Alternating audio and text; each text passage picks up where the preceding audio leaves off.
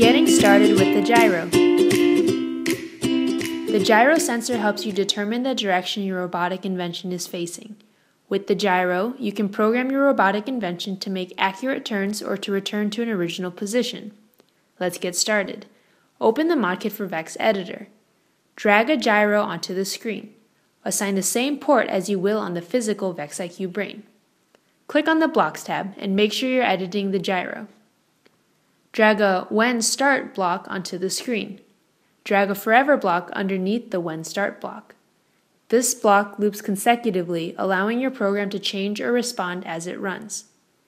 Drag a Clear LCD block, a Print block, and an Angle in Degree block and place them as you see here. This program will print out the angle that the gyro is facing continuously. Download your program onto the brain. To test the program, you can use the graphic we've provided in our guide. Note that the zero position of the gyro is set to the angle it was facing when the program started. Place the gyro on top of the coordinate graphic. Run the program and see the angle value printed on the brain.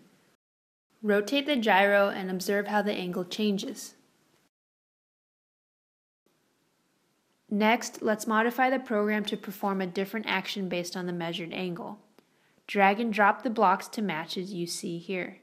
The if-else block lets you run different lines of code based on a condition. In this case, the program checks whether the angle is between 0 and 180 degrees. If it is, then the message turn right to return is printed on the brain.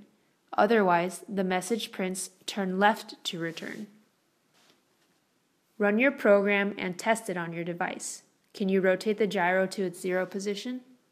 In this tutorial, you learned about the gyro. You used it to determine direction and printed messages based on the measured angle. There's so much more that you can do. Visit help.modkit.com for more tutorials and ideas.